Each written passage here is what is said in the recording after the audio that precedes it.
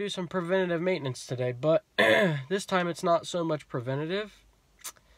It's more of uh, I goofed and I'm trying to ungoof my goof. So yeah, we have the turbo on the truck and it's running great, but the transmission started slipping. Uh, pretty much anything after 50% throttle, it kills, it just revs. Doesn't really rev, it just doesn't take the power, it just, yeah. So, we're going to flush the trans, put new filter in it, and adjust our line pressure and adjust the bands. I have a lot of people telling me that if we adjust the line pressure up, that should solve our problem. Um, I should have adjusted the line pressure a long time ago, but I'm lazy and nobody likes to uh, lay in transmission fluid all day. But we're going to do it. Also, we got most of our gauges installed. We had one gauge come in today. Our fuel pressure gauge came in today, so that has to be put in. I don't know if I'll get to that today or not. But if we do, I'll go over it. We put a digital RPM gauge in the truck, and we wired it in to the factory plug inside the truck. I will do a write-up on this or make a video on it on a separate day um, because I know a lot of people are going to be asking because from what I read, a lot of people were saying it's not, you can't do it, you can't do it, da da da. But me and a buddy uh, were up till like 2 or 3 in the morning last night wiring these gauges up, and this digital gauge works fine. So, yeah, we'll go over that um, at a later time. We might briefly go over it today, but uh, yeah. So, it looks like the rain's going to hold off, and we should get a decent amount of work done on the truck, but I will uh, see you guys in a minute when we start working on it. Okay, so here's our RPM gauge. Um, I bought this on Amazon. It wasn't crazy expensive. Um, I'll go through how we wired it up, but I know it was the gray, there was a gray wire was the signal wire to the PCM for the tach. And then I believe there was a black wire that we cut and it was um, key on power and that's all we needed to run the gauge. So there's four wires four or five wires on the plug and we only used we cut and used two of them. Um, I'll go ahead and start the truck and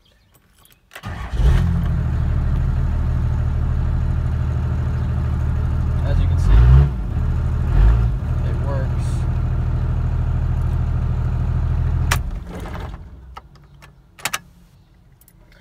and then we also got our GlowShift 3 in 1 gauge in.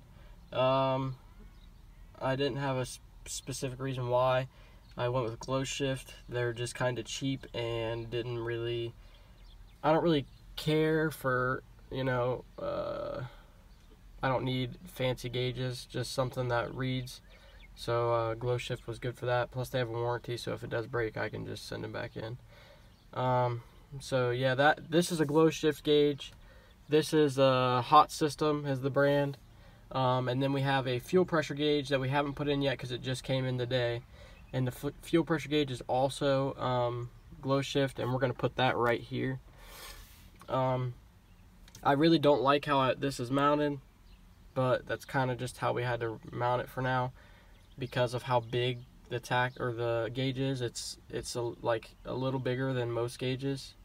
So uh, until I make up a bracket for this whole piece up here that's just how it's going to be mounted. It's just stuck so I didn't drill any holes or anything. It's just 3M taped up. But uh, yeah it has trans temp EGTs and then boost. It's a 60 pound gauge so yeah I mean I, I like it. We were up to like 3 in the morning wiring it up um, me and a buddy. So and he had already installed one of these before so he kind of knew what he was doing already so. But yeah that's that's the gauge. What is up guys? It is the next day and we have some bad news. Last night we got a little rowdy and uh, the transmission is toast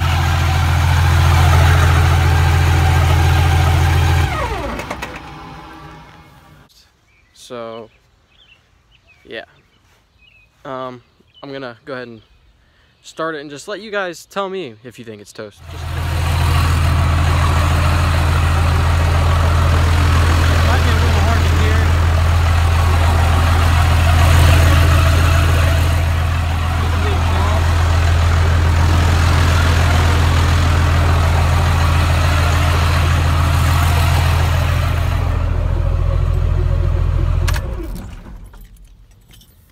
It's safe to say that it's uh, it's probably done. So, so your next question might be, what are you gonna do? You just got the thing done, and the transmission is broken. The answer is lock up. We're going to uh, pick up a 47RH core, and I'm thinking that me and a buddy are gonna try to rebuild the trans ourselves. Um, it's something I wouldn't mind learning and it'd be a cool learning process and I think a 47RH is a good transmission to learn on I guess. So I'm gonna pick up a core whether we rebuild it or not we're gonna swap it into this. Um, I haven't decided if I'm just gonna throw a converter in this for now until the 47 is done or if I'm just gonna knock out the bodywork while it's down because of the trans. So, um, but yeah, I, I'm not gonna take the transmission out of the truck until I get back from vacation, which is in like 15 days. So when we get back from vacation, I'm gonna tear it out and address the damage. It sounds like a torque converter and it shifts and drives fine. Well, now it barely moves, but it'll go into gear fine, shift through the gears fine, but as soon as you came up on boost, it would just slip or free rev or whatever you want to call it. But definitely, definitely toast. Never got hot, anything like that. I just think with the modifications we've done, the transmission just can't hold it. And I mean, that makes sense. These trucks only came with like 180 horsepower from the factory, so. um, but yeah, but for tonight, uh, we're doing some side work that hopefully we're gonna knock out tonight. Maybe finish it up in the morning and then get this thing pulled back into the garage and uh, start knocking out some of the body work. I want to throw the other hood on it, um, get it, get the other hood sanded down and primered, throw it on, start sanding down and primering the rest of the truck. Maybe try to mess with the rockers some, but um, I can't do any of that until I get this side job done. So we're gonna try to knock that out and hopefully we can get some content going up on this. Um, I'll make a video um, maybe sometime this week or next weekend on the RPM gauge because I know a lot of people are to be asking about that. But yeah, that's pretty much it for now. Sadly, I'm just as sad. Trust me. I had fun with it for like a night and then it just messed up. Oh, we did fix our charging issue. It ended up being the alternator, which is fine. I'm just not the type person to just throw parts at something. Um, I like to diagnose until I know for a fact that it's going to be the part that I'm throwing at it.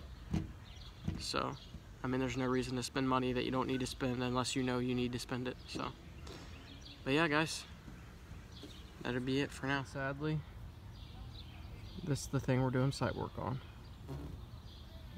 More junk. Why do we always get stuck with the Fords? I don't. I don't.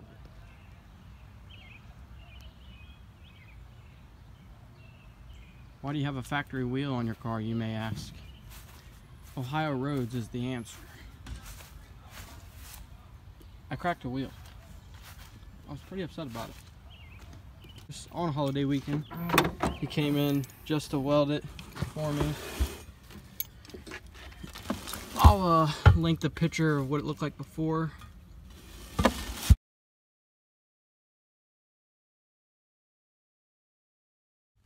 in in here. But uh you can tell somebody tried to fix it before or something. Yeah, that looks way, way better. But you could tell someone tried to fix it before and uh they had just fixed the outside and they anytime you get a crack that you weld, like on a wheel, you're supposed to cut the crack, like cut it with a, a grinder, and so that it's a clean break. and then from there you, weld in, you know, you weld over it. Well, whoever fixed it before just welded over the dirty crack and obviously didn't hold. And on top of that, they just welded the outside of the wheel, which I have an idea that they probably didn't dismount the tire, so they just welded the outside, and I really hope that's not the case, because that would just be really stupid. But there are lots of stupid people out there, and that wouldn't surprise you. But we get to work on this piece of junk.